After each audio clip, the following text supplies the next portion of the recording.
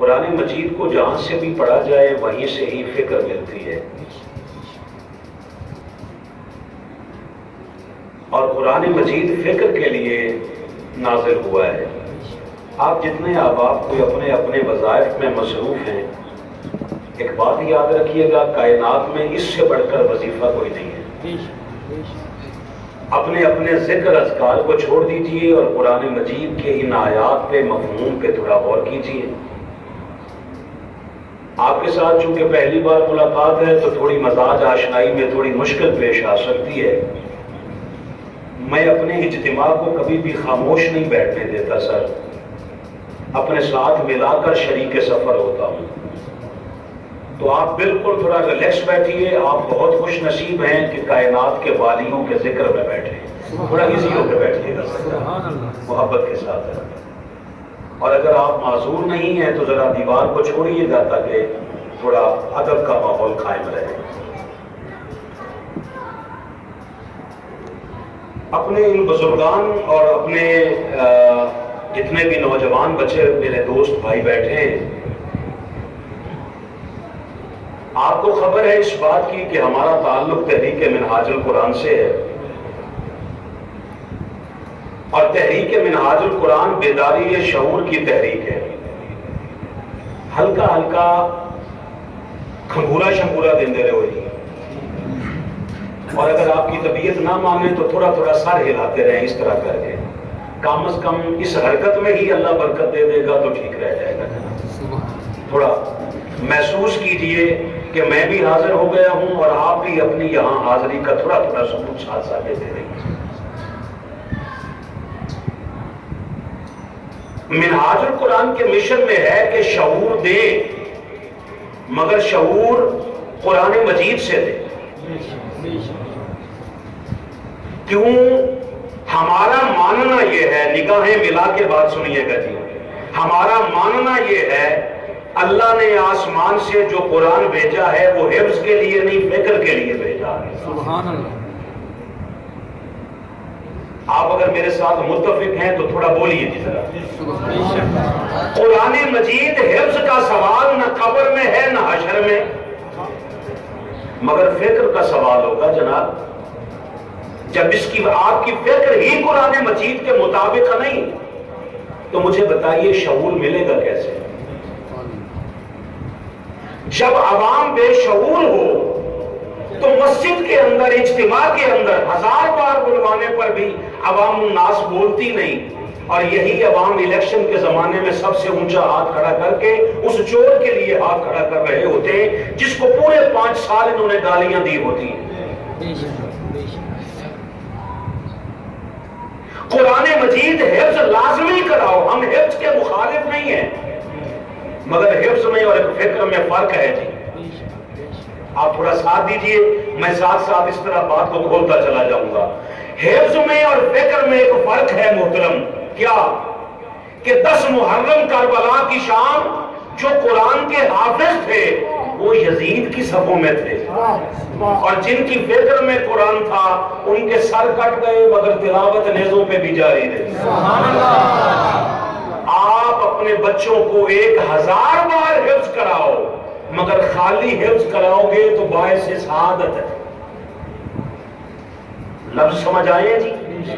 अगर कुरान मजीद आपका बच्चा हिफ्ज कर जाए तो बाय से शहादत है। आप अगर इस कुरान मजीद को गाड़ी के डैशबोर्ड पे रखो तो बाय से हिफाजत है। घर में खोल के रख ले तो बाय से बरकत है।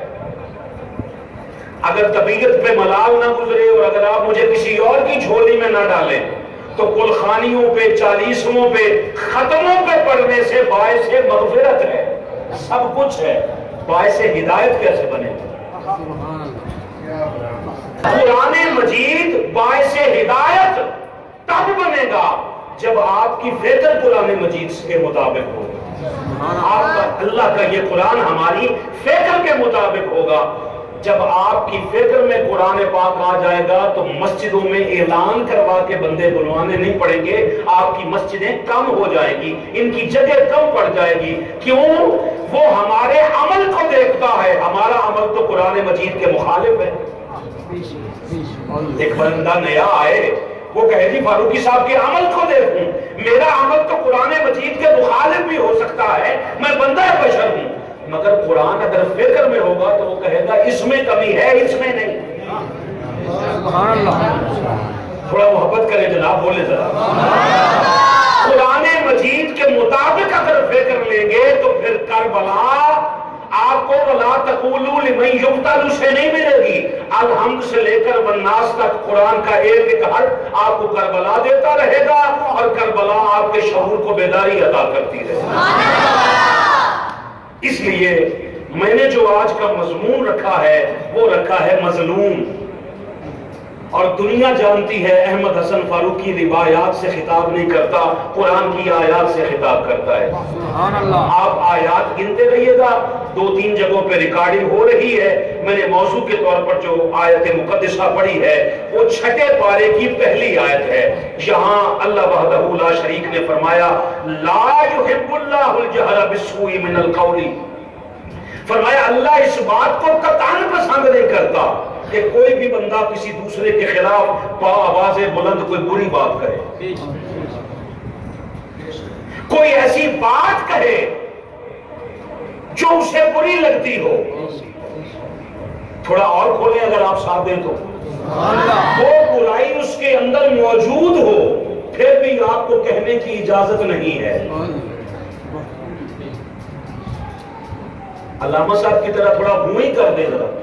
जी थोड़ा हूँ करें जी जरा ताकि महसूस हो कि आपकी हूँ मुझ तक पहुँची है।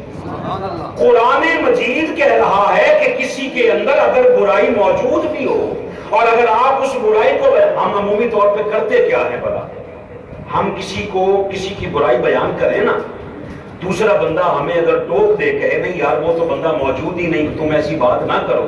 तो वो बंदा आगे से बेशर्मी और टिटाई से काम लेते हुए जवाबन पता है क्या कहता है? कहता, नहीं नहीं ये तो गल में उधर मुँह से भी कह सकना वहाँ हालाँकि हिम्मत होती नहीं मुँह पे कहने की।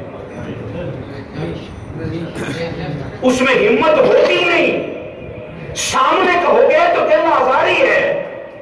मौलाए कायनात से पूछा गया, अगर वो बुराई उसके अंदर मौजूद हो, उसके सामने कह दे तो फिर तो कोई हद नहीं। कहा लाजमी है कि उसके मुँह पे कहनी है। तो कहा क्यों?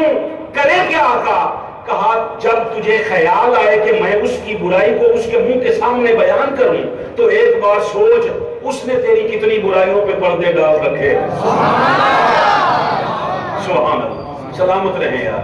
उसने तेरी कितनी बुराइयों पर पर्दे डाल रखे हैं। सिहाबा इकराम रिजवान ने आका करीम सलाम से पूछा आका हम जिसकी बुराई बयान करें इस जुर्म को क्या कहते हैं? हुजूर ने फरमाया उसे कहते हैं गीबत। उसे क्या कहते हैं? गीबत। गीबत की तारीफ़ क्या है? किसी की बुराई को उसके पीठ पीछे बयान कर देना। सिहाबा कराम ने अर्ज़ किया आका अगर वो बुराई उसमें मौजूद हो तब कहे फिर तो गिबत नहीं ना। और मैं तभी तो गिबत है। वो बुराई उसमें मौजूद है और आप उसकी बुराई को बयान करें यही तो गिबत है। और अगर आप वो बुराई बयान करें जो उसमें मौजूद ही नहीं वो गिबत नहीं कहलाती वो इल्ज़ाम कहलाता है बोहतान कहलाता है। अब पहली फ़िक्र आज के दिन की ले लें। किसी भाई का अगर कोई ऐब देख ले तो जिस तरह आप उसको उछालने का मज़ा लेते हैं ना हमारी आज की पहली फ़िक्र यह है कि आज के बाद उस ऐप पे पर्दा पोशी का भी मज़ा लेना छुपा जाए यार। उसके ऐप पे पर्दा डालें हज़रत खालिद बिन वलीद से 25 उसूल यहाँ कपड़े वाली दुकानों पे लोगों ने लिख के लटकाए हुए हैं। शख्स हाजिर हुआ कहने लगा आका ऐसी हाबी रसूल मैं चाहता हूँ। और, और हज़रत खालिद बिन वलीद से ये रिवायत है कहा आका मैं चाहता हूँ अल्लाह कयामत के दिन मेरे ऐबों पे पर्दा डाले। हजूर ने फरमाया तू अल्लाह की मखलूक के ऐबों पे पर्दे डाल। तो अल्लाह की मखलूक के ऐबों पे पर्दा डालेगा अल्लाह कयामत के दिन तेरे ऐबों पे पर्दा डाल देगा। मगर किसी को इजाज़त नहीं है कि किसी के किसी की बुराई को बरसरे मिंबर या बरसरे बाज़ार बयान करे। अब यहाँ तक अगर बात समझ आ गई हो तो कुरान मजीद की इसी आयत का अगला हिस्सा कह रहा है फरमाया किसी को इजाज़त नहीं इल्ला मंजुल मजलूम को इजाज़त है कि वो जालिम का जुल्म खुल के बयान करे। हाय। अल्लाह आपको यार तौफीक दे बोलने का। मजलूम को इजाज़त है। आप मानो जी आप तरावियों में कुरान मजीद सुनो तो सवाब है और महफिल हुसैन में ले लो तो इनकलाब है। यहाँ से सोच मिलेगी क्योंकि वहाँ हमें वो चाहिए होता है जो सवा घंटे के अंदर अंदर बीस तरावियों में सवा बारह सुना के एक साइड पे करे। यहाँ तो कम अज कम कोई आम खतीब होगा तो उसे लिख के दे देंगे। और मुझ जैसा अगर भी होगा तो हिम्मत नहीं होगी कहने की जितनी खिताब करें क्योंकि हम अपनी मर्ज़ी से आते हैं और अपनी मर्ज़ी से खिताब करते हैं जनाब। अब बात सिर्फ़ इतनी सी है कि यहाँ बैठकर भी अगर ध्यान किसी और तरफ़ रहे तो फिर बाबा आया ना आया एक बराबर हुआ। यहाँ मौजूद होकर एक बात समझ ले अल्लाह हर बुराई को छुपाने का हुक्म दे रहा है मगर मजलूम को कहता है अगर तू चुप रहा तो तेरा नाम जुर्म वालों में लिखा। तू जालिम का साथी ठहरेगा तेरे लिए कह रहा हूँ कि अगर तुझ पे जुल्म हुआ है तो फिर खुल के बोल। आगे फरमाया वकान अल्लाह समी अलीमा अगर तू मजलूम ना भी बोले तो अल्लाह समी भी है अलीम भी है। मगर अल्लाह समी और अलीम होने के बावजूद कह रहा है बंदे अब चुप ना रहना। अब चुप ना रहना। अब अगर मिंबर पे बैठा है तो मिंबर पे जालिम को नंगा कर। अगर बाज़ार में है तो बाज़ार में नंगा कर। और अगर धरने में बैठा है तो वहाँ जालिम को नंगा कर। वहाँ छुपा जाएगा। तो याद रखना, अल्लाह कहता है, मैं जालिमों का साथी नहीं हूँ, मैं मजलूम का साथी हूँ। मैं एक आयत पढ़ना चाहता हूँ जी। जिससे मेरा ये मौजू मजीद वाजे हो जाएगा, मगर चेहरे पे थोड़ा सा इतमान लाइए। आप चाहते हैं मैं दूसरी आयत आपकी तरफ़ रवाना करूँ? सूरत है। आयत नंबर इसकी है जी सत्ताईस। इसमें ज़िक्र है आदम सलाम के दो बेटों का। फरमा महबूब वतलू अलैहिम नबा। नबा अपना आदम बिल हक। महबूब, आप अपनी उम्मत को आदम के उन दो बेटों की कहानी सुनाए।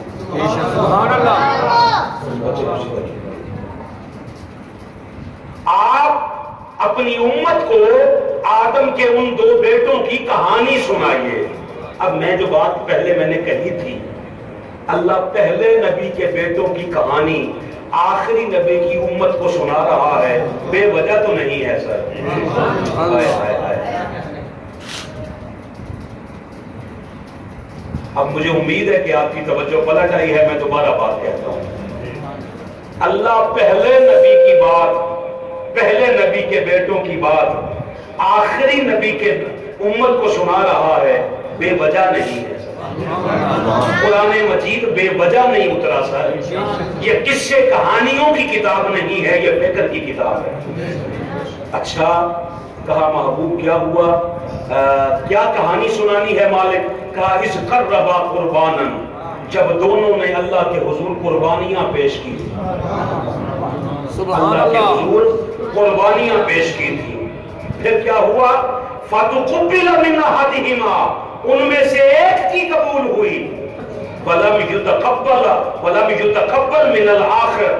फरमाया एक की मैंने कबूल कर ली दूसरे की मैंने रद्द कर आदम के दो बेटे थे, एक का नाम हाबील था, दूसरे का नाम काबिल था। हाबील छोटा था, काबिल बड़ा था। बड़े की रद्द हो गई, छोटे की कबूल हो गई। मैं इस बहस में नहीं जा रहा कि कुर्बानी थी किस चीज़ की। मगर मैं सिर्फ़ इतनी सी बात जो आपके सामने अर्ज़ करना चाहता हूँ। अल्लाह ने दोनों में से एक की कबूल की है। छोटे की कबूल की है बड़े की रद्द की है। फ़िक्र ये मिलती है अल्लाह चाहे तो बड़ों बड़ों की रद्द कर दे। अल्लाह। चाहे तो बड़ों बड़ों की रद्द कर दे। उसे पूछने वाला कोई नहीं। और चाहे तो छोटों की कबूल कर दे उसके आगे एतराज़ करने वाला कोई नहीं है। दोनों ने कुर्बानियाँ पेश की थी इसमें इख्तलाफ है। एक बात बड़े ठंडे दिमाग से मैं आप पे यकीन रखता हूँ कि आप मेरे बुज़ुर्ग मुझसे नाराज़ नहीं होंगे। एक बात याद रखिएगा और इसको ठंडे दिमाग से मेरे जाने के बाद दोबारा फिर सोचिएगा।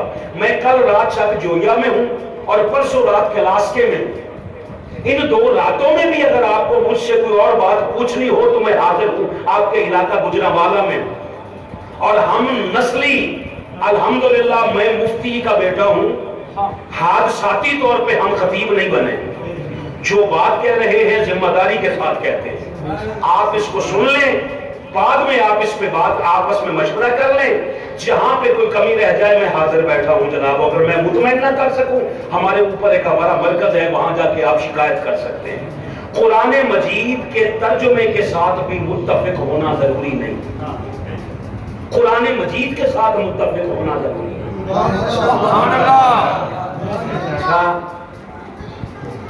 फिर सुन ले। कुरान मजीद के हर तर्जुमे के साथ आप अगर आप मुतफिक होंगे तो कुरान मजीद की कई आयात का ऐसा तर्जुमा हुआ है जिसको ज़ुबान कहते हुए हज़ार बार लड़खड़ाती है। कुरान कहता है काफिर लोग मकर मकर अल्लाह। वो अल्लाह के साथ मकर कर रहे थे फरेब कर रहे थे, अल्लाह को धोखा दे रहे थे। अल्लाह खैरुल माकिरीन लिखने वालों ने लिखा है, अल्लाह बेहतर मकर करने वाला। आप मुतफिक हो जाएँगे अहले सुन्नत की। झोली से अगर अदब ही निकल गया तो अमल तो हमारे यहाँ पहले ही कोई नहीं है। एक अदब था, वो भी छोड़ देंगे तो पीछे बचेगा क्या? लिहाजा इसका मतलब ये हुआ कि हम मुतफिक सर हिलाए जी हम मुतफिक नहीं। जिस तरह हर तर्जुमे के साथ हमारा मुतफिक होना ज़रूरी नहीं। इसी तरह हर मुफसर की राय के साथ भी मुतफिक होना ज़रूरी है। के अंदर हज़ार तफसीरें कुरान मजीद की मिलती हैं। मेरे मोहतरम बुज़ुर्ग को जो जो तफसीर अच्छी लगे ये कहते जी मैं पीर करम शाह साहब वाला की मैं तफसीर पढ़ूँगा। ये इन्हें इजाज़त है। कोई कहता जी मैं तफसीर इबन कसीर पढ़ूँगा। बिस्मिल्लाह जी। कोई कहता जी मैं तफसीर कबीर पढ़ूँगा इमाम राज़ी की? इजाज़त है। ये मुख्तलिफ़ क्यों है? मुफसर की जाती राय का नाम तफसीर होता कुरान मजीद में इन आदम के दो बेटों ने कुर्बानी दी है, ये लिखा है। मगर कुर्बानी दी किस वजह से है, ये कुरान में नहीं लिखा, ये तारीख में लिखा। तारीख के साथ अगर इख्तलाफ कर लो तो काफिर नहीं होते हो। अल्लाह और उसके रसूल के साथ इख्तलाफ करो तो काफिर होते हो। तारीख में लिखा है मुफसरीन ने लिखा है कि बहन के साथ शादी करते थे। आदम के दौर में हो जाती थी। ये मुफसर की जाती राय है। आप अगर मुतफिक हो तो आप आज़ाद हैं और अगर मैं मुतफिक ना हूँ तो मैं ना मानने में आज़ाद हूँ। नारे तकबीर। नारे रिसालत।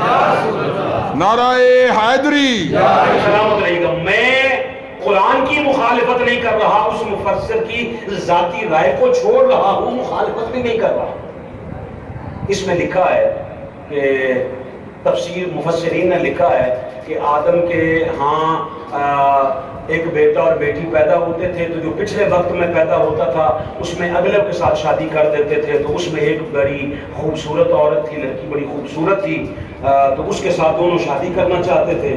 तो आदम सलाम ने कहा कुर्बानी कर लो।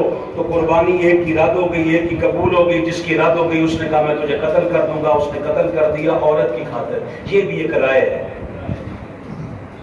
इमाम जाफ़र सलाम ने कहा यह ऐसी बात नहीं है। उनके साथ मंसूब कोई और शहर आप अगर बिल्कुल थोड़ा इतमान के साथ बैठे हैं तो मैं बात आज कर देता हूँ। इमाम जाफ़र सलाम से पूछा गया आदम के इन दो बेटों ने आ, उस लड़की की खातिर कुर्बानी दी थी। कहा जब निकाह नहीं होता तो कुर्बानी उस तरफ़ से कैसे दे दी? अल्लाह आपका भला करे आपने बहुत अच्छा कर दिया सुनने के बड़े अच्छे अंदाज होते हैं मैं दो चार बार आपके पास आया ना इनशाला आपको सुनने का तरीका आ जाएगा हाँ दो चार चक्कर लगा लो जी मेरे हाँ ਤੁਸੀਂ ਤਾਂ ਰਾਤੀ ਸੁੱਤੇ ਪਏ ਨੀਂਦਰਾਂ 'ਚ ਵੀ ਬੋਲਦੇ ਰਹੋ ਸੁਭਾਨ ਅੱਲਾਹ ਇਹ ਤਾਂ ਮਸਲਾ ही कोई नहीं जनाब हाँ इमाम जाफर सादिक सलाम से पूछा गया हुजूर फिर आप बताइए कहा नहीं असल में मसला और है हुजूर इनकी आपस में चक्करच किस वजह से हुई? कहा असल में हुआ यह है कि पहले यह बात समझ लो कि आपस में इनका मसला क्या था? अल्लाह ने दो जन्नत से औरतें बनाकर भेजी थी। उन्हें हूर कह लें, उन्हें औरत कह लें। एक का नाम नाजरा था, दूसरी का नाम मुंजला था। अल्लाह ने कहा, आदम के दोनों बेटों की इसके साथ फुला की शादी कर दे, इसके साथ फुला की शादी कर दे। जब दोनों की शादियाँ हो गई तो दोनों की औलाद आपस में चचा जाद हुई कि नहीं? सर पूरा हिलाए जी। आपने फरमाया चचा के बेटों के साथ तब भी शादी हो जाती थी आज भी हो जाती है। फितरत के खिलाफ बात क्यों करते हो? मगर कोई ना माने तो उसके साथ हमारी लड़ाई और झगड़ा नहीं है। असल मसला क्या था? असल मसला ये था आदम की जानशीनी का। अल्लाह इस उम्मत को कुरान फहमी की आदत दे। आदम की जानशीनी का मसला था कि मस्जूद मलाइक का जानशीन कौन बनेगा? एक कहता था मैं बनूँगा। दूसरा कहता था मैं बनूँगा। आदम ने कहा कुर्बानी करके देख लो। जिसकी कबूल हो जाए वो आदम का जानशीन होगा। अब तो मान जाओ जानशीनी का मसला अजल से चला आ रहा है। तो उस दौर में भी था। दोनों ने कुर्बानियाँ दी। एक की रद्द हो गई, एक की कबूल हो गई। जिसकी रद्द हुई ना, उसने काला लातुलन्ना का वो कहने लगा, मैं तुझे कत्ल कर दूँगा। काला इन्नमा यतकब्बल, यतकब्बलुल्लाहु मिनल मुत्तकीन। उसने दूसरे ने कहा, गल सुन ऐਵੇਂ हसद ना कर। हसद मत कर मुझसे। जितनी देर तू हसद में लगा रहा है इतनी देर में तकवा इख्तियार कर, क्योंकि अल्लाह कुर्बानियाँ तकवा वालों की कबूल करता है। खुश रहे। अच्छा जी, एक ने कत्ल कर दिया दूसरा कत्ल हो गया। मैं पूरा वाकया आपको नहीं सुनाना चाहता, मगर ये आपको एक फ़िक्र देना चाहता हूँ कि आखिर वजह क्या है। अल्लाह क्यों सुनाना चाहता है आदम की इन दो बेटों की कहानियाँ? उम्मत को क्यों सुनाना चाहता है? और हम मरकजी जामिया मस्जिद दूर में इकट्ठे होकर इस वाक्य से फ़िक्र ले क्या रहे तो दोस्तों, याद रखना, जब आपको टीवियों पे कुछ मनहूस चेहरे मिले ना बैठ के बकवासात करते हुए, और वो कहे, यजीद जैसा भी था। जैसा भी था, जैसा भी था, सिहाबी का बेटा तो था ना। उसे कहना, आदम के दो बेटे थे, आज भी एक जहन्नम में है, एक जन्नत में है। अल्लाह फरमाता है, इन मौलवियों को जाकर बता, सालिम का, सालिम अगर नबी का बेटा हो तो जहन्नमी हो जाता है। सिहाबी का बेटा होना कौन सा कमाल है? ये यजीद को बचाने के चक्करों में जितनी बातें करते हो ना, उतनी देर तुम्हें चाहिए था मौला हुसैन का साथ दे लेते। तुझे खबर ही नहीं। तुझ जैसे करोड़ भी मौलवी और आ जाए ना तो यजीद का दिफा कर नहीं सकते। क्यों यजीद की मुखालफत कुरान कर रहा है? हुसैन का साथी कुरान आज भी मौजूद है। कमाल हो गई है। इसलिए आदम का वो आदम का बेटा वो जानशीन बना जो साहेब तकवा था। हाय हाय। मैं कैसे बात बताऊँ अपने दोस्तों को? आदम का जानशीन वो बना जो साहेब तकवा था, और मुस्तफ़ा का जानशीन वो बना जो इमाम इसलिए जुल्म कोई भी करे तो वो काबिल कबूल नहीं है। और अल्लाह कहता है मजलूम को कहता है चुप नहीं रहना मैं तेरे साथ हूँ जालिम के साथ अब जो बात इससे अगली अगली मंजिल की तरफ़ सफ़र तय करे। मालिक जुल्म की तारीफ़ क्या है? उस्मान भाई तवज्जो मेरी तरफ़। अब आने जाने दें जिसको जो आपने बड़ा अच्छा इंतज़ाम कर दिया है। हूँ उधर नहीं देखना वरना मैंने कुर्सी उधर ले जानी पड़ेगी। हूँ मेरे अलवे हो जाए जुल्म की तारीफ़ क्या है? हम समझते हैं किसी को थप्पड़ मार दिया तो जुल्म है कोई शक नहीं। किसी को गाली दे दी कोई ये भी जुल्म है इसमें कोई शक नहीं। मगर जुल्म की एक तारीफ़ जिस पे उम्मत मुतफिक है मैं वो अर्ज़ कर देता हूँ बड़े मोहब्बत के साथ कि जुल्म की तारीफ़ ये है कि किसी भी शय का उसके असल मकाम से इशा पढ़ लिया आपने फजर तो पहले मैं छड़ना नहीं जो तुम बोले ना। एदा कोई मसला नहीं है तुम हौली हौली समझो।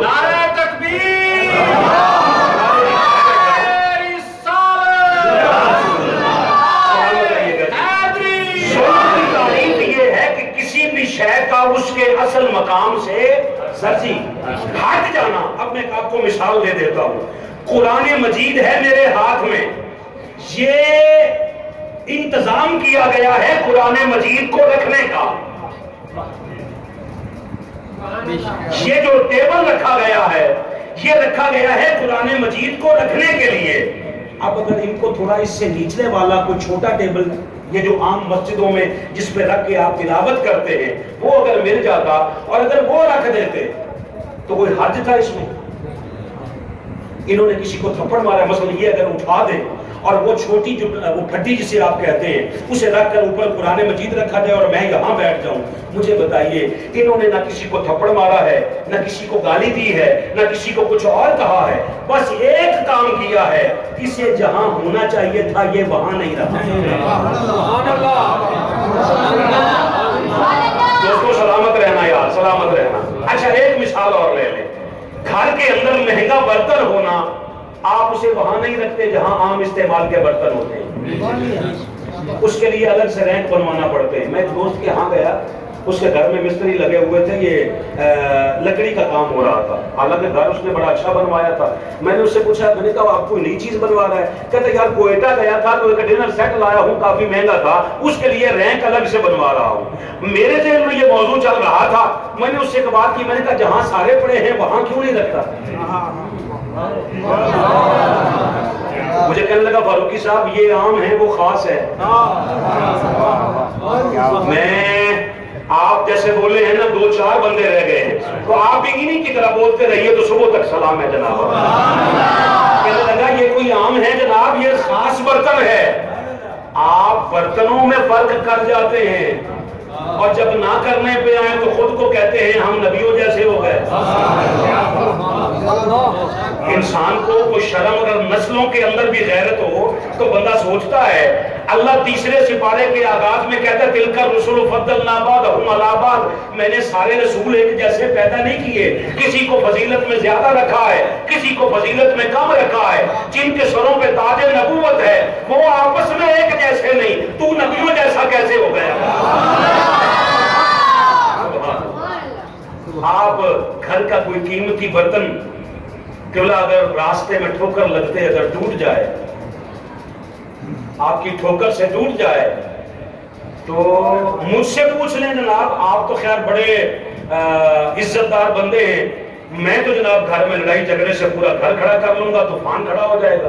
एक ही में टूटिया एनू की में टूट गया। अच्छा आपकी जोजा मोहतरमा कहते जनाब, इतना जो आप ललकार ललकार के बोल रहे हैं, ये तो आपकी ठोकर से टूटा है। आप देख के चलते पास में हाजी साहब जैसा, हमारे बुज़ुर्ग जैसा कुछ सियाना बंदा बैठा हो ना, वो कहता, नहीं, असल में बच्चा बात ये है, ये जहाँ पड़ा है, इसे यहाँ होना ही नहीं चाहिए। सारी दुनिया को मुझसे शिकवा फरूकी साहब, बड़ा मुश्किल मौजूद लाते हैं। मैंने कहा, मुश्किल कुशा के मानने वाले हैं तो मुश्किल बात कुछ समझे। वो समझाएगा कि इसे यहाँ होना ही नहीं चाहिए था। ये अपने मकाम पे होता तो कभी टूटता ना। फिर तीसरी मिसाल ले लें। आप कभी अपने अपनी जहाँ जहाँ आपकी निस्बत है, अपने आस्थाने पे जाएँ और आपके पीरो मुर्शिद कोई आपको कोई गिफ्ट दे दें। चले, हम मिनहाजुल कुरान वाले हैं, हमें शील्डें मिलती हैं, हमें सनद मिलती है। आपकी ताहयात रफाकत की सनद है, मोहतरम चौथा साहब आम पड़ी है नहीं। सबसे ऊपर रखते हैं। रैंक में क्यों? इन्हें पता है इसे कहाँ रखना है। स्कूल की किताबें नीची होती हैं ये किताब ऊँची होती है क्योंकि इतना शऊर है उन्हें वहाँ होना चाहिए इसे वहाँ होना चाहिए। जब उम्मत को इतने फ़र्क का पता है तो मुस्तफ़ा की सारी सुन्नतों का कहने वालों तुम्हें ये नहीं पता कि मुस्तफ़ा ने बताया नहीं करके दिखाया है हसन को कहा होना चाहिए? हुसैन को कहा होना चाहिए? अली को कहा होना चाहिए? और हुसैन की माँ जाए तो कहा होना चाहिए?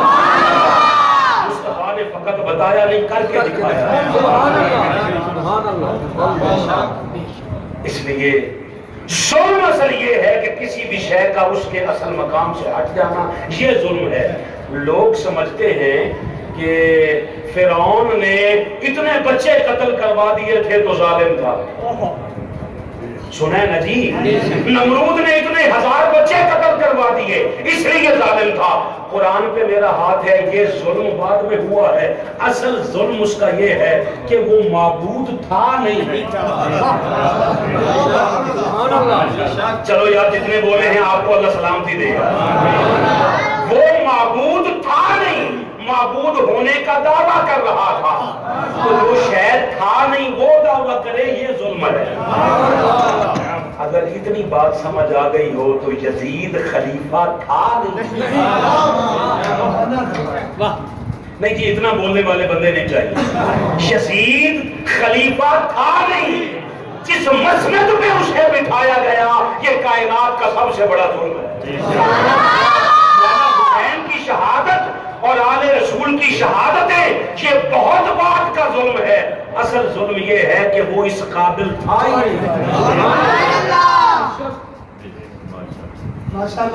अहले सुन्नत की किताबों का हवाला चलो एक हदीस पाक भी ले ले। सियासता भरी पड़ी है। हुजूर सलाम आप महवे आराम थे।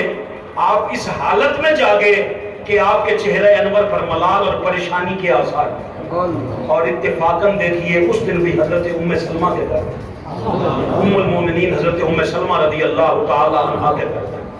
आका इस परेशानी की हालत में जब बेदार हुए ना तो उम्मुल मोमिनीन ने अर्ज़ किया आका मेरे माँ बाप आप पे कुर्बान जाएँ। परेशानी की वजह क्या है? मैं उम्म सलमा मैंने अभी अभी ख्वाब देखा है। मेरे मिंबर पे बंदर नाच रहे मेरे मिंबर पे बंदर नाच रहे लोगों ने समझा कि बंदर नाचने का मतलब ये है जिन्होंने बयान किया कि वो लोग मिंबरों पे बैठेंगे जो इस काबिल नहीं वो तख्त जिस पर मुस्तफ़ा के बाद हज़रत अबू बकर सिद्दीक बैठे जिसके बाद हज़रत उमर बैठे हज़रत उस्मान बैठे कायनात बैठे वो बाबा उस तख्त को इतना तुमने गिरा दिया कि उस तख्त पे इनके हम अल्लाह यजीद को समझने लग। और सदके के माल पे पलने वाला मौलवी सारी ज़िंदगी सदका हुसैन का खा के आज कहता है, जी, वो भी कोई बात नहीं, जी, वो भी कोई बात नहीं नहीं जनाब, वो आपके लिए कोई बात नहीं। आज तक उम्मत मुस्तफ़ा उसका खमियाजा भुगत रही आपने खिलाफत के मुतालिक कभी समझाई नहीं, सोचने की कोशिश ही नहीं की मुस्तफ़ा सल्लल्लाहु अलैहि वसल्लम ने फरमाया था मेरे बाद जो खिलाफत है वो तीस साल तक रहेगी। बड़ी माजरत के साथ ही लोग कहते हैं नारे तहकीक के जवाब में कहते हैं हक जारिया मेरे दोनों हाथ कुरान पे मैं कहता हूँ मुस्तफ़ा का हर यार ही हक है। नारे खिलाफत के जवाब में कहो जी हक जारिया तो इससे बड़ा झूठा नारा कायनात में कोई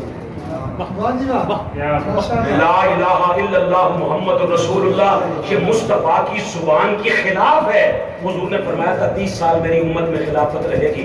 हज़रत अबू बकर की खिलाफत हज़रत उमर हज़रत उस्मान मौला कायनात की खिलाफत को शामिल करो और मौला हसन मुजतबा के छह महीने शामिल न करो तीस साल पूरे नहीं हुए चार तो ना हुए फिर भी पाँच हुए जनाब। पाँचों से जान छुड़वाते हुए तो उन्होंने कहा था कि नहीं जनाब ये कहते मैं कहता हूँ हर यार ही हुजूर का जो सिहाबी है, वो हमारे सर का ताज है। अल्लाह का वास्ता है, जुल्म मत करो। जो जिस काबिल नहीं, उसे उसका वो मकाम बयान तो कम अज कम मत करो। अल्लाह अकबर। अब जो बात इससे अगली अर्ज़ कर रहा हूँ यजीद की तरबियत जिन लोगों ने की थी ना, इसके जो हवारी थे, उन्होंने इसे समझाया, बात सुन। इस्लाम ने तीन चार मनसब बयान किए एक इमामत का, पहला रिसालत का, दूसरा इमामत का, फिर विलायत का, और चौथा खिलाफत का। इसे कहा गया, रिसालत का दावा न करना, क्योंकि रसूल आका सलाम के बाद, अब ये उम्मत, ये कौम भले कोई आग में से बच के भी आ जाए तो नबी मानने के लिए तैयार है। नबूत है यार, आप सुन के बोल रहा कोई हवा में उड़ता हुआ आ जाए, पानी में तैरता हुआ, ऊपर चलता हुआ नज़र आ जाए और आपकी नबूबत का दावा करे तो हम कहेंगे, तू झूठा है। मुस्तफ़ा के बाद नबी है ही अल्लाह अकबर। इसे बताया गया कि इमामत का दावा भी ना करना। सर जी एक बात अर्ज़ करने लगा हूँ। आपको ये मुलाकात याद रहेगी इंशाल्लाह हमेशा। इसे बताया गया इमामत का दावा भी ना करना क्योंकि नबियों का इमाम भी बतूरी के बच्चे हैं। आए मैंने जानबूझ के ये लफ्ज बोला है। आपके चेहरे पे थोड़ी परेशानी के आसार हो ताकि मैं बाप का जवाब देकर परेशानी खत्म कर जाऊँ। नबियों के इमाम भी बतूल के बच्चे हैं। आप कहें जी फारूकी साहब कैसे? मैं कहता हूँ ऐसे कि अभी भी एक नबी है जो चौथे आसमान पर ज़िंदा बैठा है। उसका नाम है ईसा सलाम इसलिए अल्लाह ने उठा लिया है। कि वो दोबारा आएँगे मुस्तफ़ा के उम्मती बनकर। साथी एक बार मुझे आप मेरी बात सुनना। अगर उम्मती बन के आएँगे तो मेराज की रात जब सारे नबियों को इमामत करवा के उम्मती बना दिया था तो हिस्सा को अब अलग से क्यों बिठाया है? चक्का साहब थोड़ा मोहब्बत याद जरा देखे जरा बात को समझे जरा। किस लिए बना है? जब सारे नबी मुक्तदी बन के हुजूर के उम्मती हो गए थे। एक ईसा को क्यों बिठाया है? का एक वक्त आएगा जब मुस्तफ़ा नहीं, मुस्तफ़ा का आखिरी बेटा महदी आएगा। एक तरफ़ मोहम्मद महदी होंगे, दूसरी तरफ़ दज्जाल होगा। फिर ईसा आएँगे। ईसा और महदी इकट्ठे होंगे। जोहर की नमाज़ का वक्त होगा। जाओ अहले तशैयो की कुतुब का हवाला नहीं अहले सुन्नत की कुतुब का हवाला है। जोहर की नमाज़ जब होने लगेगी आगे महदी होंगे कहेंगे ईसा सलाम से आप आके इमामत कराएँ। कुरान पे हाथ है अहले सुन्नत की किताबों में लिखा है। ईसा कहेंगे नबूवत हमारे पास है इमामत तुम्हारे पास है। अल्लाह। के बंदे जब नबी भी बतूल के बच्चों को इमाम मानते हैं। तो यजीद को अपना इमाम मान के कैसी अपनी उम्मत को अपनी आखरत को क्यों खराब कर रहा है? और इधर से बोलता है कहता है जी हमने तो कभी नहीं सुना कि यजीद कत्ले हुसैन में शामिल हो। मैंने कहा यजीद कत्ले हुसैन में शामिल नहीं तो फिर आप होंगे। आप उसे इतना क्यों बताना चाहते हैं? आपका क्या लगता है यजीद? आपकी क्या रिश्तेदारी है उसके साथ? जुल्म हज़ार बार जुल्म। और इस जुल्म के खिलाफ ज़्यादा से ज़्यादा ये शिद्दत पसंद एक काम कर सकते हैं कि गोली मार सकते हैं। हम गोली खाने के लिए तैयार हैं मगर मौकफ में तब्दीली लाने के लिए मौकफ यही है कि हम कल भी मजलूम के साथ थे हम आज भी मजलूम के साथ न्यूजीलैंड का वो एक वाक्य था चालीस कत्ल हुए थे अभी तो साल डेढ़ साल का अर्सा नहीं हुआ सारी दुनिया को पता है ऑन दी रिकॉर्ड बात है। न्यूजीलैंड मुसलमानों का मुल्क नहीं है। चालीस कत्ल हुए थे कोई एक बंदे ने दो बंदों ने जाके कत्ल कर दिए थे चालीस मुसलमान। अब हुआ क्या? न्यूजीलैंड जाओ सुबह गूगल पे सर्च करके महफिल के बाद जाके देखना। न्यूजीलैंड की वज़ीर आज़म ने न्यूजीलैंड की सड़कों पे अपनी मौजूदगी में गैर मुस्लिमों ने अजाने दिलवाई। आई एम सॉरी के लिख के ना पंफलेट मुसलमानों के घरों में फेंके गए कि हमसे गलती हुई है। उसने उन दिनों में इस मामले पर जो पार्लियामेंट का इजलास बुलाया, उसके सर पे दुपट्टा रखा, काले रंग का लिबास पहना। मैं को फेरों के काले कपड़े पा के कह कि नशिया कह देना। जो जाग जाए तो दसियो यार जो तुम जाग गए चाहे तो अंग्रेज़ को भी शिया कह दे। काले कपड़े उसने पहने उसने उस उस पार्लियामेंट के इजलास तिलावत कलाम पाक से करवाया। अब मैं सिर्फ़ तलवंडी मूसा खान के इन गैरतमंदों से एक बात पूछना चाहता हूँ। पार्लियामेंट का इजलास बुलाकर तिलावत से शुरू करवाने से वो मुसलमान हो गई आई एम सॉरी के लिखने से वो सारे मुसलमान हो गए? प्रेस में आलमी मीडिया ने वज़ीर आज़म में न्यूजीलैंड से पूछा, आप ऐसा क्यों कर रही हैं? उसने कहा, मैं सिर्फ़ इसलिए कर रही हूँ, मैं कभी ना करती, अगर कातिल का ताल्लुक मेरे कबीले से ना होता उसने कहा, कातिल कोई और होता, मैं कभी ना करती, क्योंकि कातिल का ताल्लुक मेरे मुल्क के साथ है। मैं ये सब कुछ करके बताना चाहती हूँ, मैं जालिम के साथ नहीं, मजलूम के साथ अंग्रेज़ वो गैर मुस्लिम होकर उसने जुर्रत का मुजाहरा किया है और बताया है, हम जालिम के साथ ही नहीं, मजलूम के साथ ही हैं। हम मुस्तफ़ा का कलमा पढ़ने वाले हैं। मिनहाजुल कुरान वालों से पूछ, हमारा बच्चा छह सात साल का, उसे साइड पे ले जा, उसे जाकर पूछ, डॉक्टर ताहिरुल कादरी ने जो तेरी तरबियत की है, बता, जंग जमल में कौन हक पे था, सिफीन में कौन हक पे था, करबला में कौन हक पे था? हम तुझे बताएँगे, वो बच्चा तुझसे कहेगा, मुझे ये नहीं पता कि कौन हक पे था, कौन ना हक था, कौन हक था, कौन बातिल था। हमें सिर्फ़ ये बता, अली और औलाद अली किस तरफ़ थे?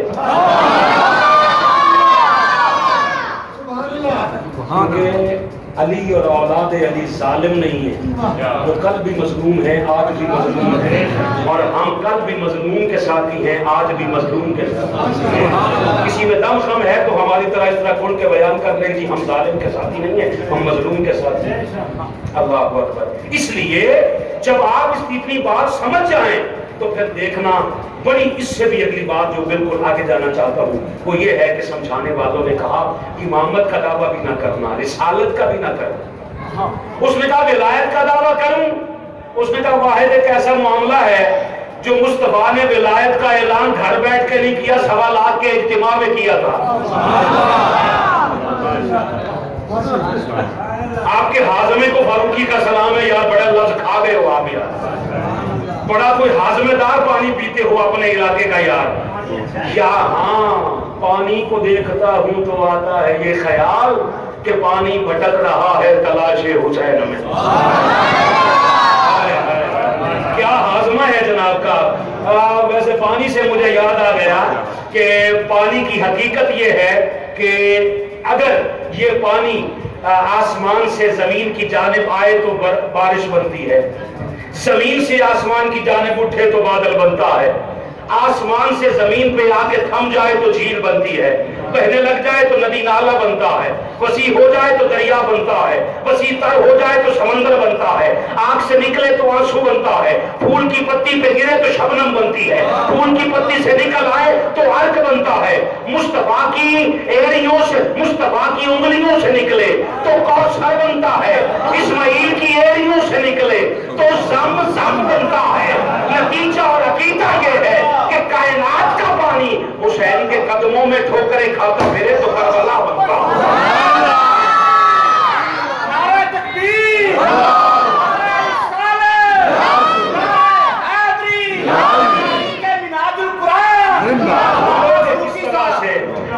भूलोगे किस तरह से कहानी हुसैन की वाह जी वाह अच्छा किया दो उस्मान इकट्ठे नहीं बैठे आपने आने का बताया चलो फ़ायदा हुआ आपके आने का। अल्लाह आपकी इस बैठने में और आने में बरकत अता फरमाए। तो भूलोगे किस तरह से कहानी हुसैन की मकरूज कर गई है, जवानी हुसैन की। नाने का दीन खेच के लाया था करबला, मंजिल नहीं था नहर का पानी हुसैन। ये जो बार बैठ के कहते हैं ना कि हुसैन पानी के लिए तरसता रहा। अल्लाह की इज़्ज़त की कसम, मिनहाजुल कुरान के अकीदे के करोड़वें हिस्से में भी। ऐसी बात नहीं जिससे हुसैन बे बेबस नज़र आए। हमारा अकीदा नहीं कि हुसैन बेबस था। हम कहते मुँह से एक बार लगा लेते जो आता पानी दश्त गुर्बत में न यूँ ठोकरे खाता पानी। अरे कौन कहता है कि पानी को तरसते थे हुसैन? उनके होंठों को तरसता रहा इसे बताया गया विलायत का भी दावा न कर, न करना, क्योंकि वाहिद विलायत ऐसी है जो हुजूर ने सवा लाख के इज्तिमा में ना ऐलान करवाया है। और वो भी मुबहम नहीं मुस्तफ़ा ने मुर्तजा का हाथ पकड़ के कहा लोगों सुन लो मन कौन तो मौला हो? सारे ना मानना। जिस जिसने मुस्तफ़ा को वारिस माना है आज के बाद उसका अली वारिस जिसने मुझे बली माना है उसका ये अली बली है। जो बात आपसे अर्ज़ करना चाहता हूँ इसे बताया गया विलायत का भी दावा न करना बेटे इधर रख दो। विलायत का भी दावा न करना रिसालत का भी न करना इमामत का भी न करना। तो अब क्या करूँ? कहा तू खिलाफत का दावा कर।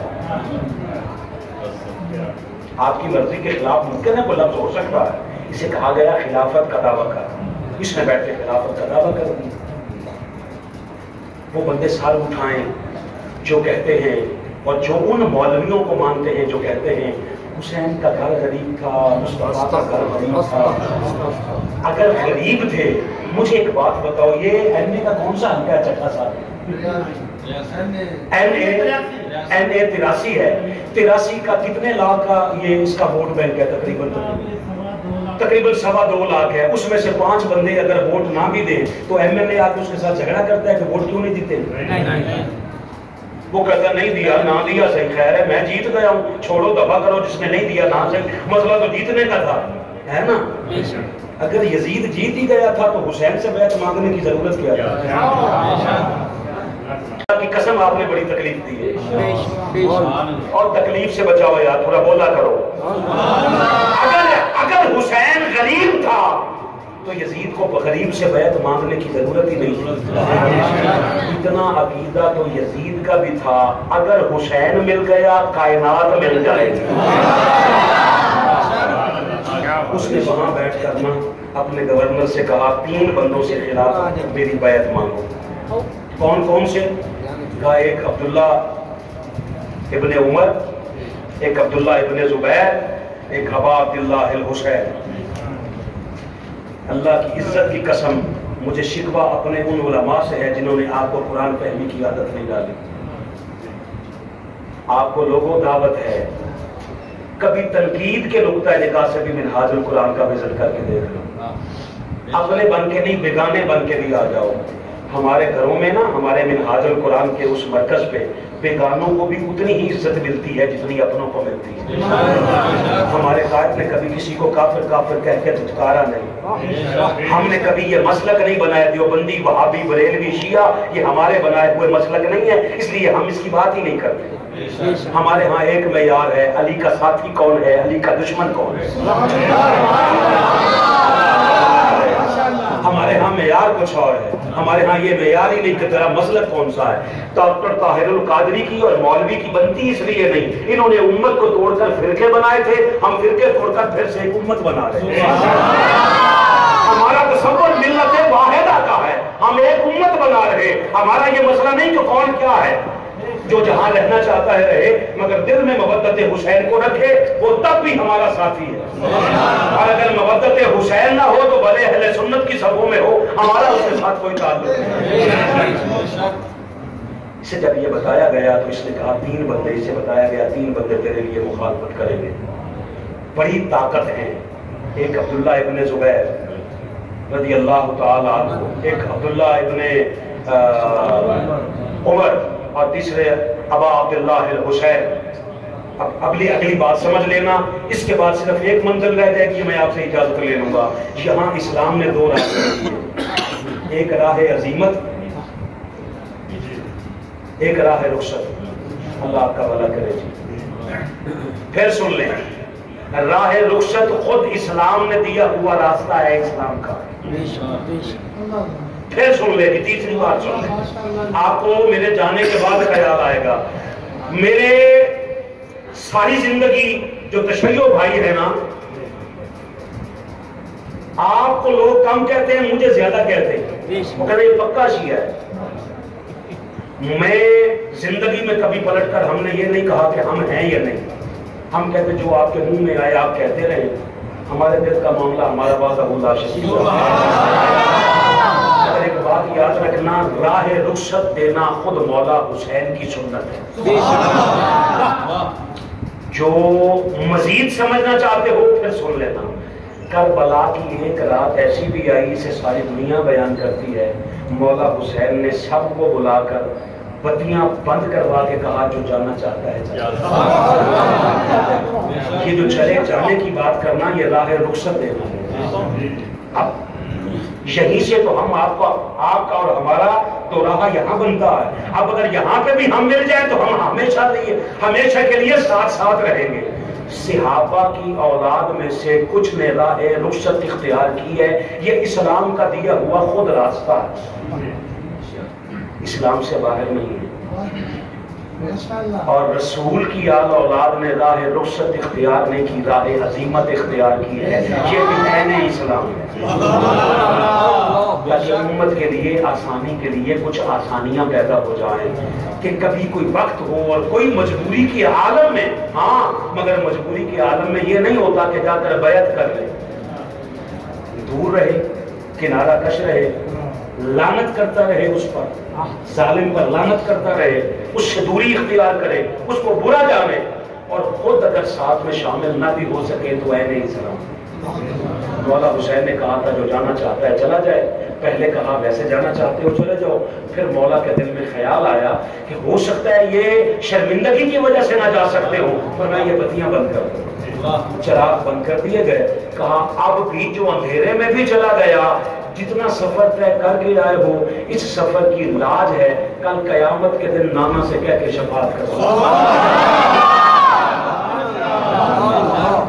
मगर कोई नहीं गया। इसका मतलब है जो नहीं गए उन्होंने राह अजीमत खुद इख्तियार की है। हुसैन का राह रुखसत देना भी इस्लाम है और उनका ना जाना और राह अजीमत इख्तियार करना भी है नहीं इस्लाम। अगर कुरान मजीद का कुरान मजीद के मुतालिक कुछ अगर पता होता किसी भी हवाले से और इस पे अगर कुछ और किया होता तो जिसने इसे खिलाफत का आ, कहा है ना कि खिलाफत तू कर उसे सूरत नूर की अगर आयत नंबर पचपन आती होती ना तो ये वो भी इसे समझाता कि खिलाफत का दावा ना कर। मैं एक आयत और पढ़ दूँ अगर आप कहें नूर है आयत नंबर पचपन है। अल्लाह वादा शरीक ने फरमाया अल्लाह ने वादा कर रखा है किन से ईमान वालों से बेईमानों से नहीं।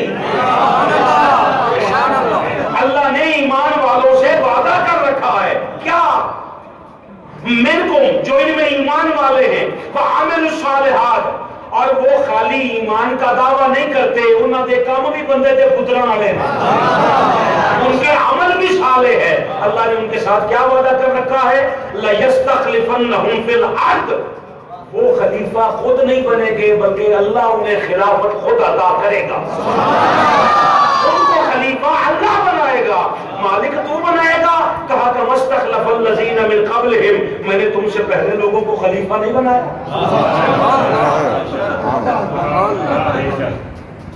अल्लाह के बंदो, अगर कुरान में गौर किया होता तो कुरान तो यह कह रहा है, खलीफा खुद नहीं बनता। अल्लाह बनाता है और कायनात जानती है। मेरे इन बुज़ुर्गों से लेकर वो आखिरी बच्चे तक मेरे जुमले को याद रखना अल्लाह खुद नहीं आता जो काम मुस्तफ़ा करे, वही काम अल्लाह का होता। मुस्तफ़ा जिसको खलीफा बना दे, याद रखना वही अल्लाह का बनाया खलीफा होता। और जो लड़के हासिल करे, वो खलीफा नहीं होता, वो कौम का बादशाह तो हो सकता है, खलीफा नहीं।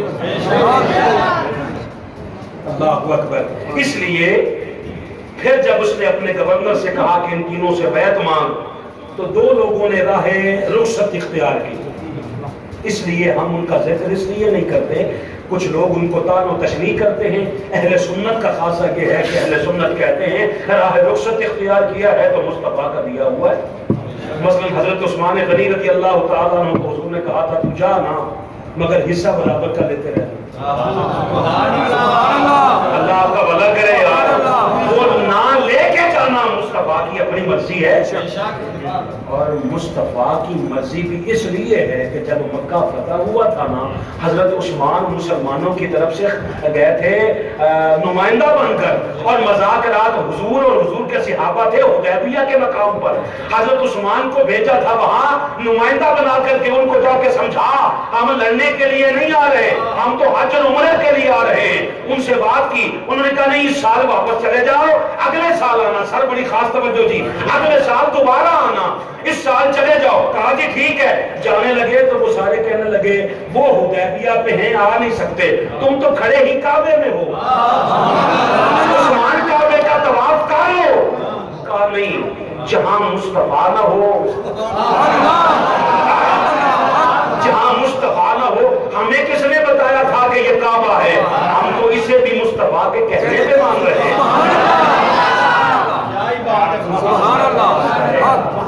अल्लाह का वास्ता है यार। इन चीज़ों को ना उम्मत के दरमियान वो बात करो जो अफहाम तफहीम की फजा पैदा करे आपस में प्यार और मोहब्बत की फजा को कायम रखे। ये कहना कि तामो तशनी से हासिल कुछ नहीं होगा। प्यारे बच्चे जरा खास बात। तानो तशनी से गालम गलोच से हासिल कुछ नहीं होगा, अपनी आखरत खराब करोगे। आपका दुश्मन आपके खिलाफ हंसता रहेगा। वो तो चाहता है, मुझे एक बात बताओ सारे देखते हो आप तहज्जुद की नमाज़ में पच्चीस नहीं, आप तीस नहीं, सौ नफल अगर तहज्जुद की नमाज़ में पढ़ो, मुझे देख के बताओ, अमेरिका को तेरी तहज्जुद से क्या तकलीफ़ आप ईद का दिन छोड़कर बाकी पूरा साल रोज़े रखते रहे, अमेरिका को क्या तकलीफ़ आपके दुश्मन को क्या तकलीफ़? दुश्मन को तकलीफ़ तब है जब आप इसके मुताबिक हो जाएँगे। हो यजीद के साथ लड़ाई हमारी जो है ना जो आज तक हम उसे लानती कहते हैं वो जो लानत का मुस्तहिक ठहरा है इस वजह से नहीं कि नमाज़ नहीं पढ़ता। नहीं आप आप भाग गए सर। नहीं नहीं मैं अल्लाह की कसम मज़ाक करने का आदि नहीं हूँ खसूसन मुहर्रम के दिनों में। ये उबासियाँ जुमाइयाँ इस बात की निशानी होती है कि बंदा थक गया है। और मैं अगर दो घंटे भी खिताब करूँ तो सर मैं थकने नहीं देता। मैं कोशिश करता हूँ कि मेरा सामने मेरे सामने ही जागते रहे।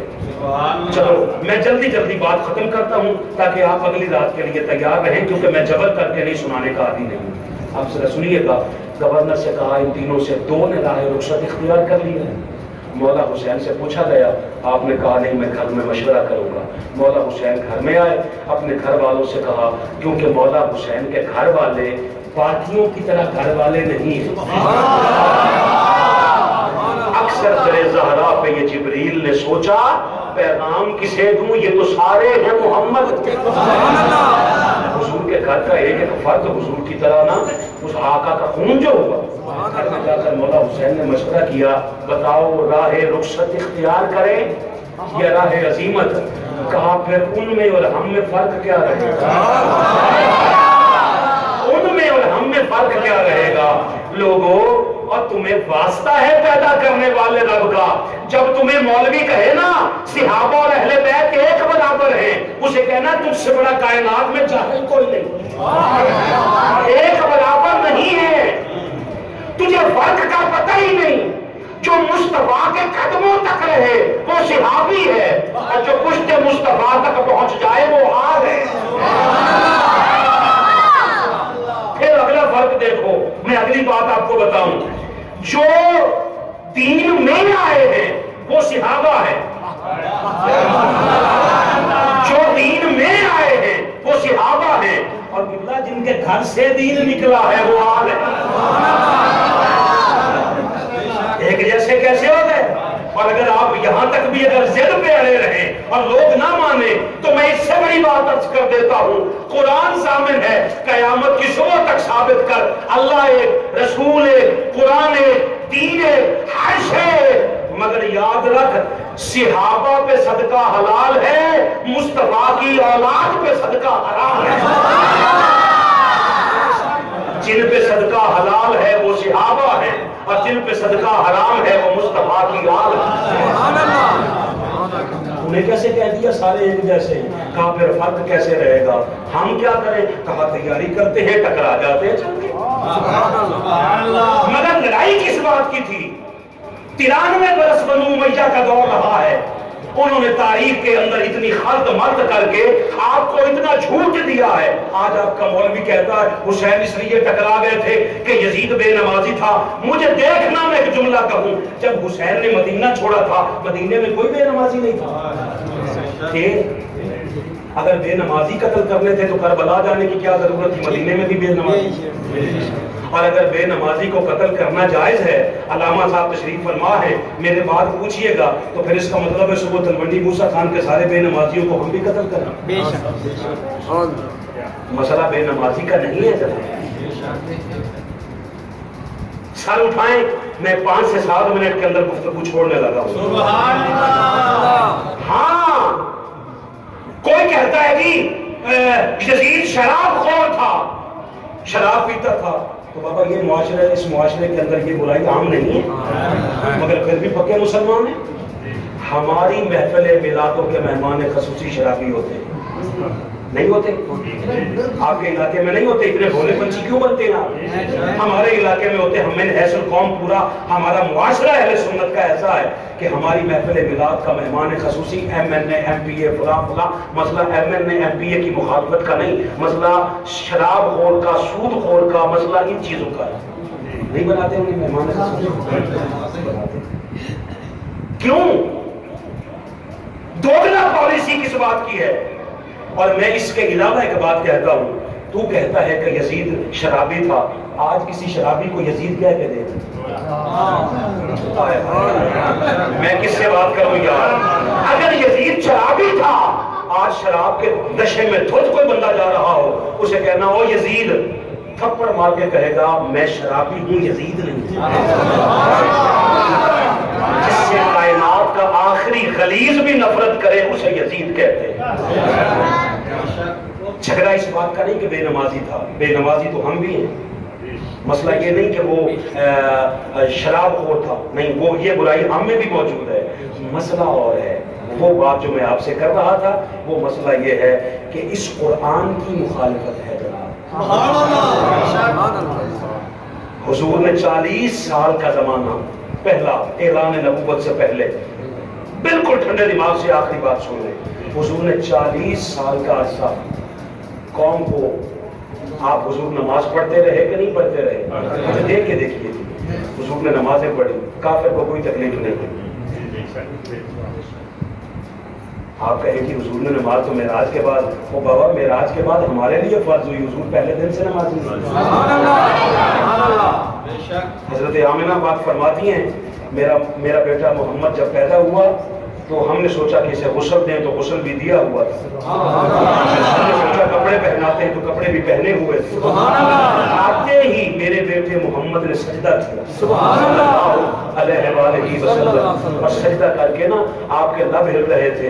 सरकार की वालिदा फरमाती है मैंने कान करीब करके सुना तो मेरे बेटे ने पहले सजदा किया फिर उम्मत के लिए दुआ की।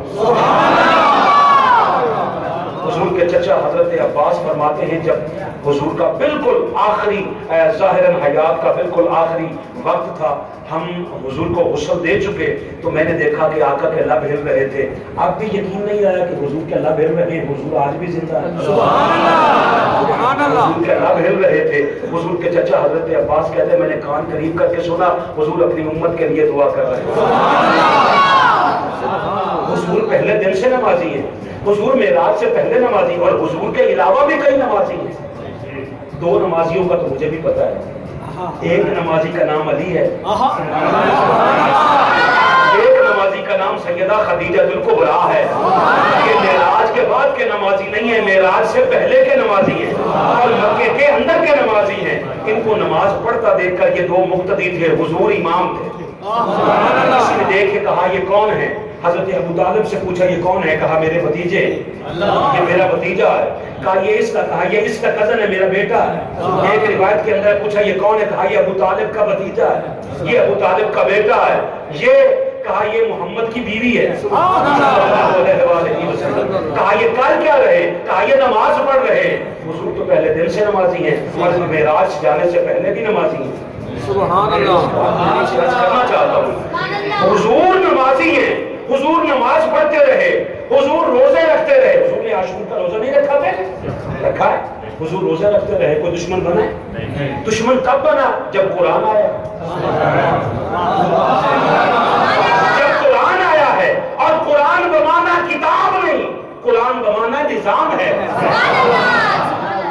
आप सारी ज़िंदगी तहजद की नमाजें पढ़ते रहे हमारे अहले हदीस भाई तहजद की अजान देते हैं नमाज़ बाजमात पढ़ते हैं अमरीका को क्या तकलीफ़ है आपकी तहजद से? आप सारी ज़िंदगी रोज़े रखते रहे अमेरिका को आपके दुश्मन को चलो नाम अमेरिका छोड़ दे आपके दुश्मन को क्या तकलीफ़ है आपकी नमाज़ से रोज़े से क्या मसला है? उसको तकलीफ़ तब होगी जब आप उसका निज़ाम छोड़ देंगे और वो निज़ाम देंगे जो मुस्तफ़ा ने दिया है। सल्लल्लाहु अलैहि वसल्लम। इस सूरत की सूरत निसा की आयत नंबर अगर तेईस पढ़ो ना तो कुरान कहता है हुर्रमत अलैकुम उम्महातुकुम व बनातुकुम। ये सारे रिश्ते कुरान कहता है तुम पर तुम्हारी माएँ हराम हैं। ये इतने जालिम थे जो अपनी माओ से निकाह करते थे। अपनी बेटियों से निकाह करते थे। किससे? अपनी बेटियों से। ये देखिए जी हुर्रमत अलैकुम उम्महातुकुम व बनातुकुम व अखवातुकुम। और तुम्हारी बहनें तुझ पर हराम है। जो बहन अच्छी लगती है, उसके साथ निकाह कर ले। अगर कोई कहे कि ऐसा हुआ ही नहीं था तो कुरान की आयत क्यों आई है? आप तो हर आयत का शान नजूल बयान करते हैं। हमें सूरत निसा की आयत नंबर तेईस का शान नजूल बता दे, क्या वजह है? वो मुआशरा इतना गंदा था निकाह तो होता ही नहीं था सीधा सीधा जिना था ये जिना करते थे उन रिश्तों का तकदस पामाल करते थे। मुस्तफ़ा ने कहा नहीं तुम इनसे निकाह करते हो मैं कहता हूँ माँ के कदमों के तले जन्नत अबू जहल के निज़ाम में बेटी ज़िंदा दफन हो रही थी। मोहम्मद के निज़ाम में खड़े होकर इस्तकबाल किया जा रहा था के बंदे, मैं हैरान हूँ उस बंदे पे, जो आज तक अहले बैत का नहीं हो सका, वो अहले सुन्नत का कैसे हो गया निज़ाम का मसला है। इसलिए डॉक्टर ताहिरुल कादरी ने आज इस कौम को बताया है, असल निज़ाम की लड़ाई है, और निज़ाम इसका है, किसी बंदे का बनाया नहीं।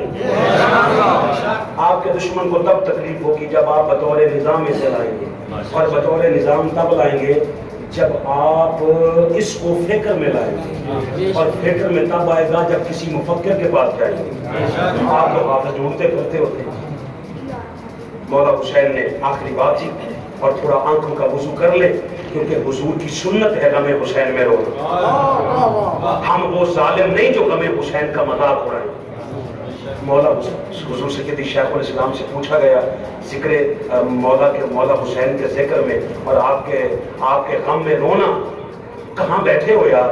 हज़रत उम्मे सलमा रज़ी अल्लाह तहा से मशहूर मारूफ रिवायत है। हुजूर इस हालत में आए। लोग समझते हैं ये शीयत है। हुजूर इस हालत में आए। तुम तो जगह जगह पे बताते हो ना कि हुजूर ने ये अमामा इस रंग का पहना इस रंग का पहना। हम कहते हैं जिस भी रंग का पहनो अमामा हुजूर की सुन्नत है। मगर जब करबला की खबर थी तो हुजूर का सर नंगा था अमामा नहीं। था और हुजूर की वो बंदैल की सुल्फे घर आलूद थी। आपके हाथ में ना एक शीशी भी वो पहले से कुछ थमाई हुई थी और एक रिवायत के अंदर है कि हाथ में कुछ था। उमर मोमिनी नज करती हैं आका आपके हाथ में क्या है? कहा मैं अभी अभी मकतल हुसैन से आया मकतल हुसैन का जब ज़िक्र सिरे ना तो ये, ये अल्लाह तरसी के लिए नहीं है। ये इसलिए है, ताकि तेरे अंदर अगर एक आँसू भी अगर निकल आया तो वो जहन्नम की आग बुझाने के लिए तू समझता है कि हुसैन को रोना, ये शीयों का काम है, अल्लाह की इज़्ज़त की कसम नहीं। हजूर शेखुल इस्लाम ने फरमाया, जो हमें हुसैन में नहीं रोता, उसे अपने मुकद्दर पे रोना चाहिए। जब मौला हुसैन ने घर जाकर के मशवरा किया तो टकराने का फैसला हो गया। वो दिन आ गया कि मौला हुसैन का घर आपका खानदान मदीना छोड़ रहा अलविदाया बन नहाया जाके पढ़ो यार। अहले सुन्नत की किताब है। तारीख इब्ने कसीर के नाम से मशहूर है, उसका असल नाम अलविदाया नहाया है। जाके पढ़ो।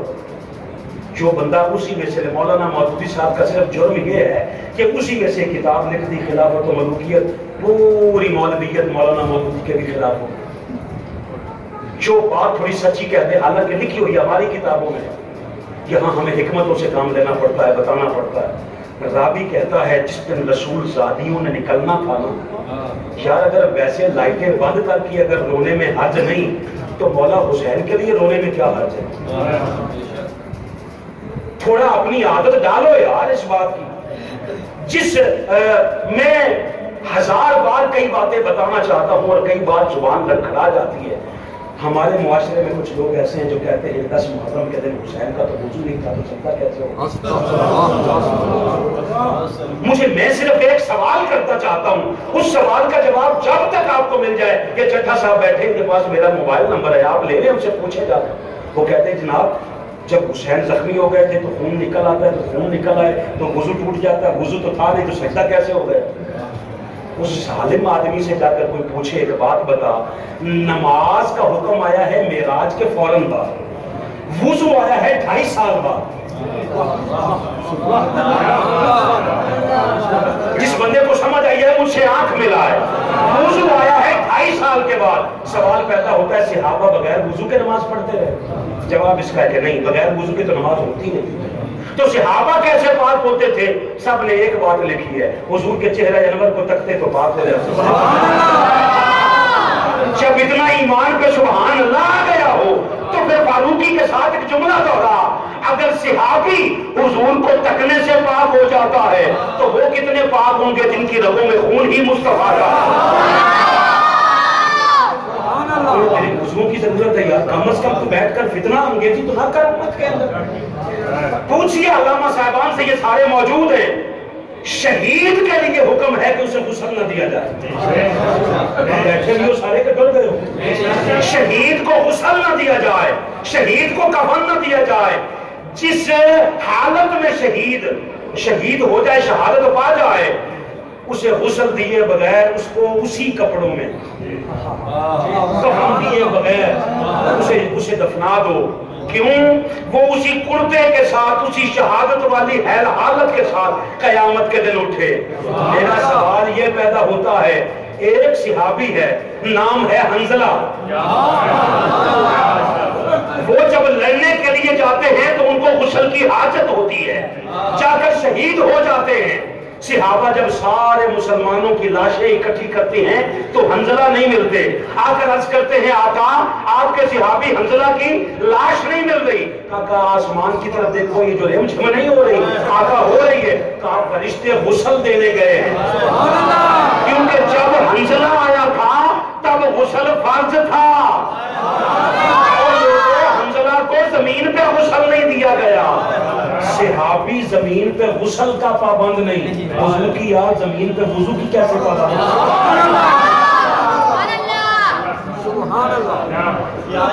अगर ज़िंदगी में कुछ एक लम्हा भी गैरत में गुजरा हो हमारा कसूर सिर्फ़ इतना है कि हम हुजूर की आल का ज़िक्र करते हैं और आपको मौका मिल जाता है कि जी आप शिया हो गए। किबला मैं वो बाबा पाँच बंदे बतौर गवाह मुझसे ले लो। अगर शर्म होती नस्लों में तो हमें तो कहना तो ये चाहिए था कि ये बंदा हुजूर की आल का ज़िक्र बड़ा करता है लगता पक्का सुनी सर आपकी तरह बाकी भी तो बोले ना बेशाक होना तो ये चाहिए था कि लोग कहते यार ये हुजूर की आल का ज़िक्र बड़ा करता है लगता पक्का सुननी है। नहीं आप सारे कहते हो ज़िक्र आल का बड़ा करता है लगता पक्का शिया है। इसका मतलब है आपने खुद ही आल रसूल का ज़िक्र उठा के शियों के पर्दे में डाल। ये फैसला आपका है, अल्लाह उसके रसूल का नहीं है। अल्लाह का वास्ता है, बात बात पे हुजूर की अहले बैत या का ज़िक्र किया। मेरी किताब आ रही है, इंशाल्लाह, अल्लाह ज़िंदगी दे। आधी से ज़्यादा वो प्रोसेस उसका कंप्लीट हो चुका है। उसमें खासियत ये है कि जो ज़िंदगी का मौजू शुरू करोगे उसका इख्ताम हुजूर की आल पे होगा। कायनात का जो मौजू शुरू करोगे उस मौजू का इख्ताम हुजूर की आल के ज़िक्र पे होगा आपसे अब भी कह रहा हूँ अगर शहीद को गुसल देने की हाजत नहीं किसी को क्या खबर कि वो हो सकता है उसे उस वक्त गुसल की हाजत हो गई। अगर शहीद गुसल देने का आदतमंद नहीं तो हजूर का बेटा हुसैन वज़ू का आदतमंद में किस तरह की बात डालकर हमारे पर्दे में क्या बात डाल रहा है यार? और अगर हम तेरी मुखालफत कर दें तो हम मुसलमान ही नहीं रहते। इतनी सी बात है। उस एक लम्हे को याद कर और याद करके अगर तुझे जब तेरा तेरा जवान बेटा तेरे सामने आए ना, और जब तेरा सीना फखर से चौड़ा हो जाता है, सोच जब हुसैन लाए थे अली अकबर को उठाकर तारीख कहती है, लिखने वाले हाफिज इब्ने कसीर कहते हैं, और बहुत सारी तारीखों में लिखा है कि मौला हुसैन की उस वक्त उम्र थी छप्पन वर्ष सर और दाढ़ी में एक बाल भी सफ़ेद नहीं था। जिस जब्त के साथ हुसैन करबला से ना मैदान से मौला अली अकबर को उठा के लाए हैं वो। वापस आए हैं तो जब्त का ये आलम था कि रसूल जादियों ने, मस्तूरात ने हुसैन को पहचाना नहीं, क्योंकि जब्त की वजह से सर और दाढ़ी के बाल सफ़ेद हो गए। अल्लाह का वास्ता है, इसके लिए सबने जान दी है। ऐलान हो गया था, आज रसूल के खानदान ने मदीना छोड़ना है। रावी कहता है सारी दुनिया अदब से मदीने वाले छुप गए थे क्योंकि रसूल जादियों ने निकलना है। कहते मैं भी एक ओट लेके बैठ गया। मैंने देखा कि घर से निकल रहे थे ना अ, सारा रसूल का खानदान निकल रहा था। तो कहते हैं जब सारे इस तरतीब के साथ निकले तो उसमें मैंने देखा एक बच्चा कुछ एक महीने का भी था।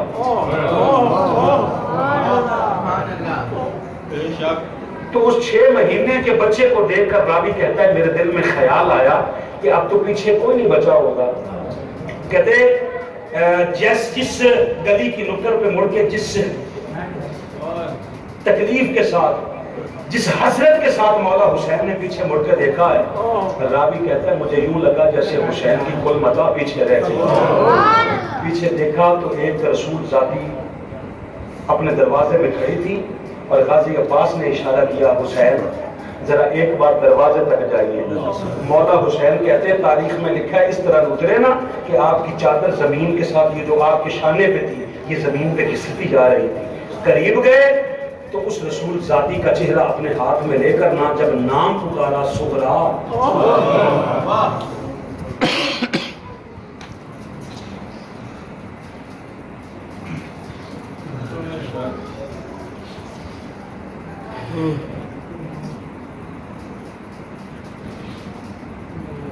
रवि कहता है, कहते मुझे तब एहसास हुआ कि ये जो जा रहा है, ये बाप है और जो दरवाजे में खड़ी है, वो इसकी बेटी है।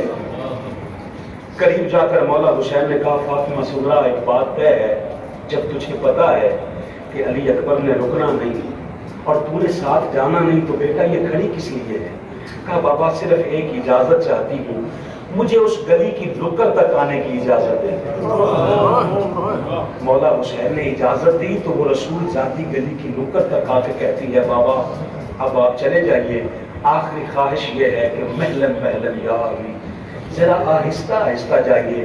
मैं परदेशियों को दूर तक देखना चाहता हूँ। ओ लोगों, सिर्फ़ वजह एक है कि मुस्तफ़ा जो निज़ाम दे के गए थे यजीद उस निज़ाम का मुखालिफ था और अपना बनाया हुआ निज़ाम मुसलत कर रहा था। हुसैन बेनमाजियों से नहीं लड़ा, हुसैन निज़ाम से टकराया। आपको अल्लाह का वास्ता दे के कहता हूँ, एक बार पलट के पाकिस्तान की सरजमीन पे देख, निज़ाम की जंग लड़ कौन रहा है? सिवाय मिनहाजुल कुरान के तुझे मैदान में कोई नज़र नहीं आएगी। आप अगर आज निज़ाम की जंग के लिए खड़े हों तो आज आपको नए सिरे से जंग करने की ज़रूरत नहीं। जंग पिछले चालीस साल से शुरू है। आपको सिर्फ़ सात कंधे के साथ कंधा मिलाकर एक आखिरी धक्का देना है। इमरान खान समेत सारी दुनिया को पता है कि निज़ाम में चलने नहीं देगा जगह जगह पे वो तमांचे मारता है मुँह पर, मगर वो फिर इसी निज़ाम को बचाने के चक्करों में है। हम सिर्फ़ ये कहते हैं कि जो निज़ाम हुजूर दे के गए थे, उस निज़ाम को दोबारा राइज करो। और वो राइज कैसे होगा, वो आपके बच्चे इस कुरान की, ये कुरान उनकी फ़िक्र में आ जाए। अल्लाह से दुआ है, अल्लाह सही मानों में अमल की तोफ़ी अता फरमाए। फ़कीरा आए, सदा कर चले, सदा खुश रहे, दुआ कर चले। अल्लाह वसलाम वरहमल वर्क